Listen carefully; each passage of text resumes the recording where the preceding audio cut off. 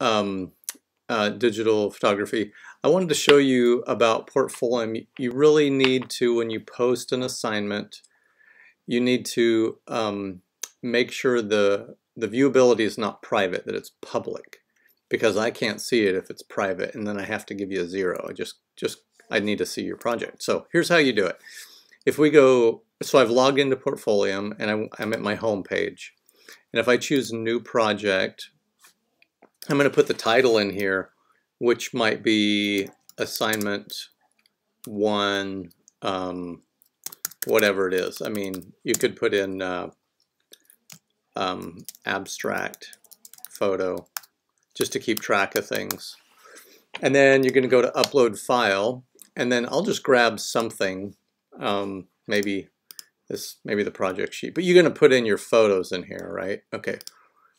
So I'm going to choose one. It's going to upload it. And then um, you could put in categories and a description if you like. But um, where the privacy deal is, is right in this little gear, this kind of a settings. And this is only for this project. It's not for all of Portfolium. So you have to do it every time. So you go click on this gear. And right now I have it set to public, although um, you have to be careful. I think it defaults to private. I've made, I may have made an overall larger change, but this is where it gets changed to public.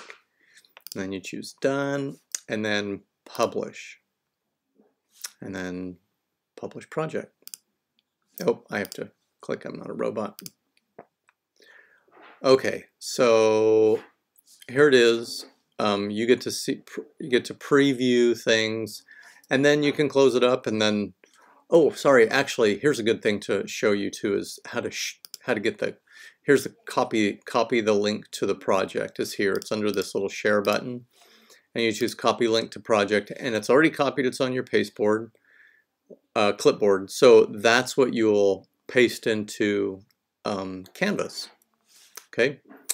Uh, yeah, and that's it. So when we come down here, um, yeah, we'll be able, I'll be able to see your project if I just go to this link. Okay, hope that helped. Um, make those changes to your project so I can see them. Thanks.